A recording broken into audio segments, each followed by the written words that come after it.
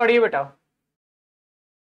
Find the number of words with और without meaning which can be made using all the letters of the word again मतलब है?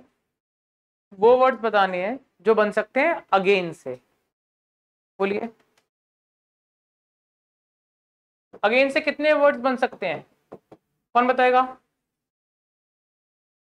कोई नहीं। तो बोलो ना फिर लाउड बोलो। फाइव फैक्टोरियल कोई रिपीट भी हो रहा है? अपॉन टू फैक्टोरियल भाई देखो, एक, दो, तीन, चार, पाँच। फाइव फैक्टोरियल रिपीट कौन हुआ? A that is two factorial solve करो इसे। सिक्सटी बोले, यहाँ तक clear if these words are written as in dictionary अगर इस वर्ड को हम किस तरह अरेंज करें? Dictionary wise what will be the fiftieth word तो पचासवा वर्ड कौन सा है? जब डिक्शनरी वाइज अरेंज करो, जब डिक्शनरी में अरेंज करेंगे तो क्या हो जाएगा बेटा? जब मैं डिक्शनरी में अरेंज कर रहा हूँ तो पहले कौन से वर्ड्स आएँगे? ए फिर जी फिर आई फिर एन बोले यहाँ तक क्लियर तो पहले ये निकालते हैं कि ए से कितने वर्ड्स हैं मेरे पास, फिर जी से कितने, फिर आई से कितने, फिर एन से कितने।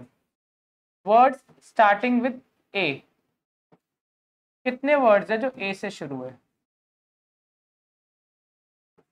बताइए। यानी अगर फ़र्स्ट लेटर ए फिक्स कर दूँ फ़र्स्ट लेटर ए कर दिया तो बाकी कितने के लिए चाहिए अरेंजमेंट फोर कोई रिपीट हो रहा है? अगर फ़र्स्ट लेटर ए है तो इसी की अरेंजमेंट करनी है गेन की कोई रिपीट नहीं हो रहा।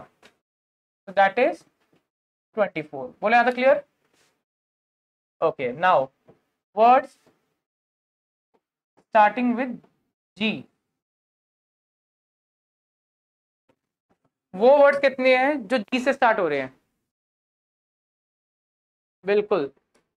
फ़र्स्ट वर्ड जी कर दिया। Right right? इस बार फ़र्स्ट वर्ड क्या है मेरा?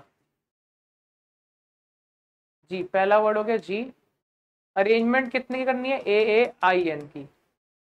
राइट तो क्या हो जाएगा? फोर फैक्टोरियल अपॉन में रिपीटिशन है कोई? A that is two factorial solve कर दो। फोर इंटू ट्वेल्व आ जाएगा। इसी तरह। इसका मतलब क्या? ट्वेंटी फोर का मतलब समझे? इसका मतलब है वन से लेकर ट्वेंटी फोर वर्ड्स वन से लेकर ट्वेंटी फोर तक। ये सारे वर्ड्स कौन से हैं? जो ए से फिर नेक्स्ट ट्वेल्व का मतलब क्या हुआ? ट्वेंटी फाइव से लेकर थर्टी सिक्स तक सारे वर्ड्स जी से हैं। पॉइंट क्लियर हो रहे यस और नो थोड़ा सा? अच्छा हो रहा है। ठीक है। Word starting with I word starting with I क्या हो जाएगा बेटा? Four factorial upon two factorial that is twelve तो क्या हो जाएगा बेटा? थर्टी सेवन से लेकर फोर्टी एट यही हुआ ना? कि first twenty four word A से हैं, फिर ट्वेंटी फाइव से थर्टी सिक्स वर्ड्स जी से हैं, फिर थर्टी सेवन से फोर्टी एट वर्ड कौन से है? आई से। तो बेटा फोर्टी नाइन्थ वर्ड कौन सा होगा? एन से। अब समझ आ रही है बात? फोर्टी नाइन्थ वर्ड क्या होगा? एन पहला। एन को फिक्स कर दिया हमने। अरेंज करो इसको जरा। डिक्शनरी वाइज डिक्शनरी में आता है अरेंज करना? डिक्शनरी में क्या होता है, पता है? पहले आगे वाले अल्फ़ाबेट आते हैं, उसके बाद पीछे वाले यानी पहले कौन आ जाएगा? एन तो फिक्स कर दिया। ए फिर ए फिर G I clear fiftieth word क्या होगा? ध्यान से समझना। एन ए ए बेटा आखिर में इन दोनों की आपसी में क्या होते हैं? इंटरचेंज आई जी अब बोलो क्लियर है कंफ्यूजन फिफ्टी वर्ड क्या होगा? खुद बताओ. N A A G I है अगला शब्द क्या होता है? जहाँ पे इन तीनों को फिक्स करते हैं और इनका अरेंजमेंट करते हैं.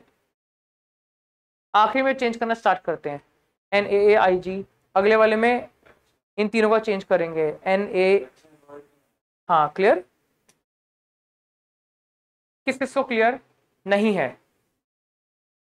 डन ये था चैप्टर हाँ जी। जी के, बेटा एक बात बताओ forty ninth word N A G I है तो फिफ्टी वर्ड में क्या होता है? डिक्शनरी में। डिक्शनरी पढ़ी कभी? आपने नहीं पढ़ी, पुरानी वाली। अब तो आजकल सबके पास गूगल की डिक्शनरी है ना। किसी को भी मीनिंग देखना, वहीं से देखता है। पुरानी वाली डिक्शनरी में क्या होता था? वर्ड्स को अल्फ़ाबेटिकली लिखा जाता था। पहले ए से स्टार्ट होने वाले, फिर बी से इसमें भी क्या होता है? हाँ। पहले का उससे पहले लास्ट के अल्फ़ाबेट्स को हम क्या करते हैं? चेंज करना स्टार्ट कर जैसे मान लो फिफ्टी फ़र्स्ट हो तो क्या करेंगे हम सर अब इन तीनों का आपसी में अरेंजमेंट चेंज करेंगे। क्लियर क्लियर है? अब इसके बाद सिखाऊँगा रैंक वाले क्वेश्चन नोट डाउन प्लीज़